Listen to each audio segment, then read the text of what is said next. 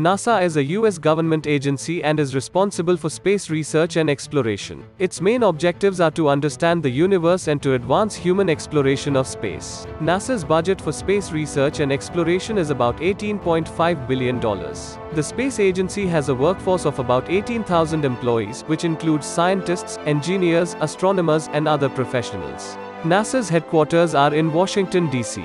In 1958, the agency was created, and its first mission was to launch the Explorer 1 satellite. This was followed by many other successful missions, including the Apollo program, which saw humans land on the moon. Since its inception, NASA has been at the forefront of space research and exploration.